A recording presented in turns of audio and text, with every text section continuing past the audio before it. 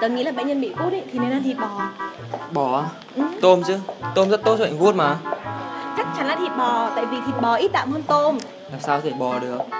Thầy dạy là tôm mà Chắc chắn là tôm. những gì tớ học thì là thịt bò.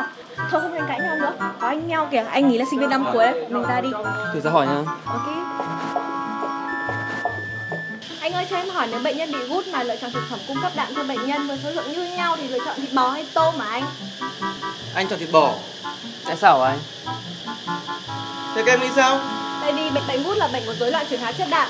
Theo như em biết thì cần kiêng các loại hải sản như là tôm, cua, cá và các loại thịt có màu đỏ như thịt bò, thịt dê. Trong trường hợp này thì thịt bò ít đạm hơn tôm, vì vậy chúng ta chọn thịt bò. Ừ, đúng đấy Cho em một câu trả lời rồi còn gì Dạ bọn em hỏi anh cho chắc vì anh sinh viên năm cuối sẽ hiểu biết hơn bọn em ạ Thế lý do anh chọn thịt bò có phải như bọn em vừa giải thích không ạ? À không, Thế thì Thế sao, sao ạ? ạ? Thì tớ ghét tôm.